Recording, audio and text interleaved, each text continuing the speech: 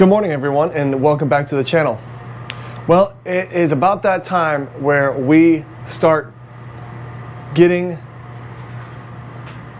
the battery and the Growatt up on the wall. Now my plan is to move all of this shelving and saw, uh, move it all out because I want to put I want to put the Growatt like right here and I want to put the battery right next to it. So that way, if for future expansion, I could have other wall space over here for batteries. And then I want to have future expansion for an, an additional Growatt if I ever decide to go with a 240 split phase off-grid system. So that is the plan. I'm going to be, the, all of this is going to be moved. What I might do is is actually keep some of the shelving because I want to make this all solar. And right now there's just this little bit right here. So it's probably going to be three shelves and they're just going to go across, all the way across like that. So, you know, unfortunately, it would be super boring for you to watch me do all that. So I'm going to go ahead and get it done and, uh, and then I'll show you what the next steps are. Okay, well, I got the wall all cleaned up. You can see that I took apart all of the uh, shelving. Uh, this is really, really lightweight shelving, so I'm not going to be putting a lot of stuff on there. I might have a third row, I'm not really sure yet.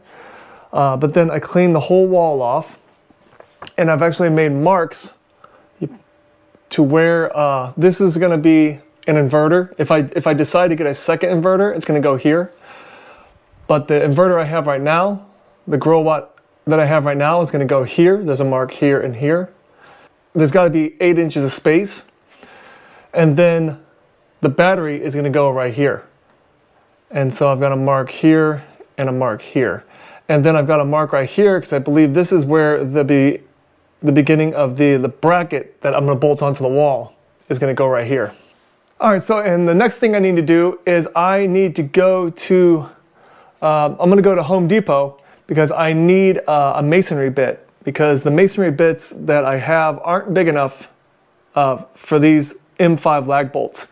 So these are the bolts that I'm going to be using to uh, bolt the battery onto the wall. And then I'm going to buy some Tapcon screws um, about this size, probably about a half inch to an inch longer uh, to put up the Growatt. And then also I'm going to buy uh, you know, a bigger box, uh, pretty much about this size, so that way I can uh, screw in any conduit or raceways, anything like that.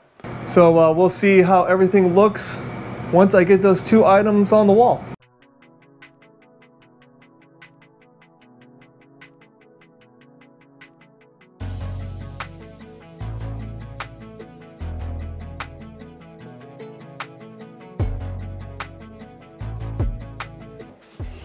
What? Uh, it's really boring work.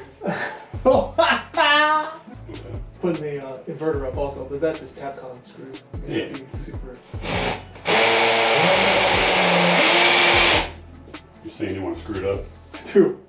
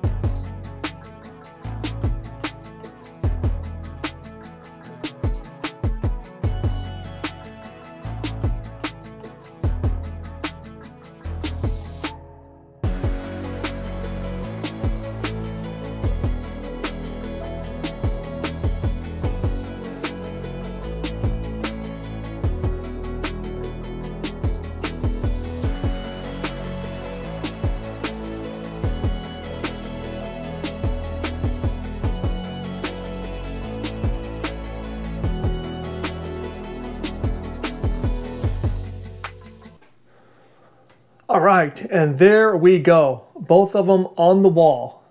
So I'm gonna go ahead and uh, hook the battery back up to the Growatt and make sure everything turns on and we'll go from there.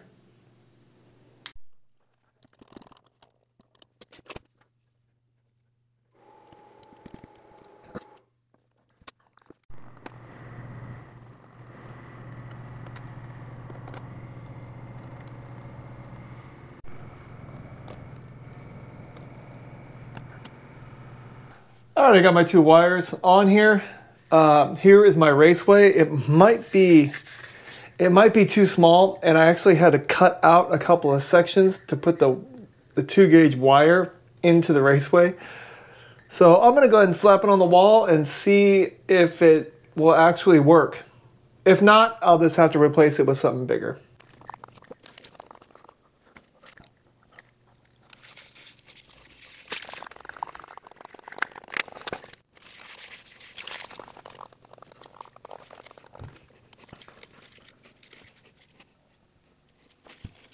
For the most part, yeah, I like that. I like that look. So I'm gonna go ahead and get these so they come up. Hopefully they'll bend right down in. I might have to screw something in to hold the wire in place, but we'll see. Okay, well I am finished with the wall installation for now. Uh, what you can see is I have my, my raceway down here for my positive and negative battery terminals and my network connection. Um, right now, I do have uh, temporary AC input and AC output cables, but they are secured in, so um, they're not going to get yanked out at all. Um, I do have the Wi-Fi connected back up, and everything is running exactly the way I want it for right now.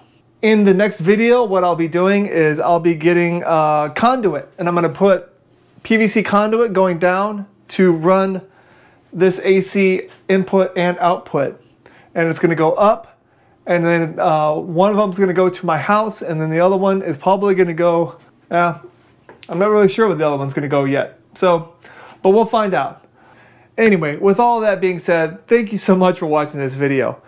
Uh, I don't know if it was really that informative, but I really just wanted to keep everyone in the loop of how this EFG battery is being utilized.